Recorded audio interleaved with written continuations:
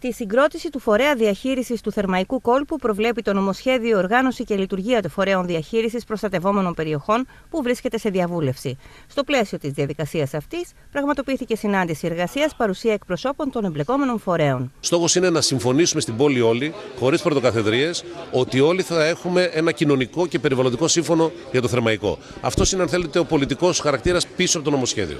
Η Συμβουλευτική Επιτροπή που θα συγκροτηθεί με απόφαση του Υπουργείου θα περιλαμβάνει όλους τους υπάρχοντες φορείς, συμπεριλαμβανομένοι της αυτοδιοίκησης πρώτου και δεύτερου βαθμού, των οποίων οι αρμοδιότητες δεν τροποποιούνται.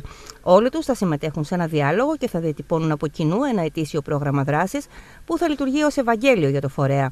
Η έδρα του φορέα προτείνεται να είναι η Χαλάστρα, που είναι και η έδρα του φορέα διαχείρισης ΔΕΛΤΑ Αξιού, και το προσωπικό σε αρχική φάση θα είναι το προσωπικό του φορέα. Αντιρρήσεις για την πρωτοβουλία εξέφρασε η Υφυπουργός Μακεδονίας Θράκης, αλλά και ο Αντιπεριφερειάρχης Κώστας Γιουτίκας, καθώς και ο Δήμαρχος Θεσσαλονίκης Γιάννης Μπουτάρης. Είναι ένα βήμα όμως χρειάζονται και άλλα πράγματα να προσθεθούν σε αυτό και αυτό θα καταθέσω ως άποψη του Υπουργείου Μακεδονίας Τράκης και δική μου προσωπική και των συνεργατών μου ότι ο θερμαϊκός είναι ένα ευρύτερο σύστημα, δεν είναι μόνο θερμαϊκός. Αυτός ο μοχλός ανάπτυξης της Βορείου Ελλάδος ολόκληρης ε, χρειάζεται πάρα πολλά ακόμα να γίνουν ε, πέρα από αυτό το φορέα το οποίο οραματίζεται και μέσα από αυτό το νομοσχέδιο το οποίο θα κατευθεί ε, ο κύριος ε, Υπουργός προσπαθεί ο άνθρωπος να κάνει και αυτός κατά το δοκούν.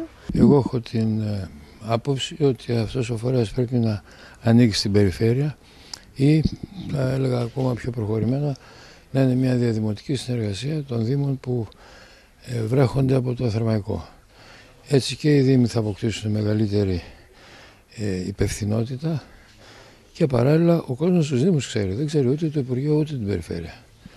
Και έτσι ε, θα δούμε πώς θα εξελιχθεί η κατάσταση. Στείνεται άλλο ένα φορέας, ο οποίος προστίθεται στους ήδη υφιστάμενες βαριές γραφειοκρατικές διαδικασίες, χωρίς πραγματικά να μπορεί να είναι αποτελεσματικός, κάτι το οποίο θέλει όλη η Θεσσαλονίκη. Οι αρμοδιότητες οι οποίες προστίθονται μπορούν κάλλιστα να εποπτευθούν από την περιφέρεια Κεντρικής Μακεδονίας, καθώς η περιφέρεια και αξιοποιεί ευρωπαϊκά κονδύλια και διαχειρίζεται η ίδια το ΕΣΠΑ και φυσικά έχει και την αρμοδιότητα και το θεσμικό ρόλο της Μητροπολιτικότητας στο νομό Θεσσαλονίκης. Δυστυχώς, παρά τα έργα που έχουν γίνει τα τελευταία 10-20 χρόνια, η κατάσταση της ποιότητας των νερών του κόλπου δεν, δεν είναι η, η, η καλύτερη που θα θέλαμε.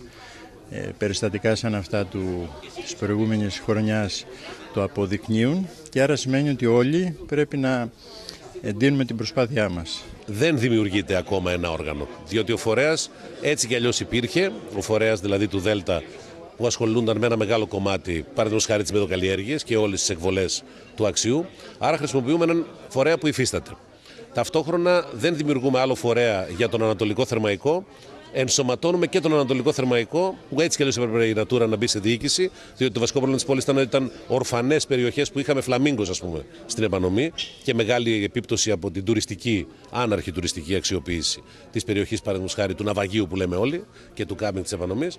Άρα μειώνουμε κατά κάποιο τους φορείς, γιατί θα πρέπει να κάνουμε έναν ακόμα ανατολικά δίνουμε επιπλέον αρμοδιότητες συντονιστικές σε υφιστάμενο φορέα, που έτσι κι αλλιώς ήταν κρατικός, είχε την δημόσια ευθύνη και την δημόσια, αν θέλετε, το δημόσιο ορισμό.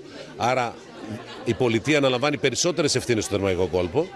Δεν περιορίζει αρμοδιότητα κανενός, άρα σέβεται τη δημοκρατία της πόλης και την περιφερειακή ανάπτυξη και αντίθετα δίνει ρόλο στο τραπέζι αυτό σε όλους τους φορείς της πόλης. Πριν από την έναρξη της συνάντησης εργασίας, ο κύριος Φάμελος συναντήθηκε με εκπροσώπους των εργαζομένων στο φορέα διαχείρισης ΔΕΛΤΑ Αξιού, οι οποίοι ζήτησαν την παράταση των συμβάσεών τους. Προβλέπεται μία ολιγόμενη παράταση με σχεδιασμό μιας οχτάμινης προκήρυξης η οποία δεν διασφαλίζει την εμπειρία και το προσωπικό που υπάρχει αυτή τη στιγμή. Σύμφωνα με τον κύριο Φάμελο, το νομοσχέδιο προβλέπει την ύπαρξη συμβάσεων εντός του 2018 που θα υπερβούν τις εμπλοκές του ελεκτικού συνεδρίου για τους συμβασιούχους, ώστε να μπορέσει να συνεχίσει ο φορέας αυτός και να έχει το 2019 προκηρύξει θέσεις εργασίας αορίστου χαρακτήρα, καθώς τότε η χώρα τίθεται εκτός περιορισμού προσλήψεων.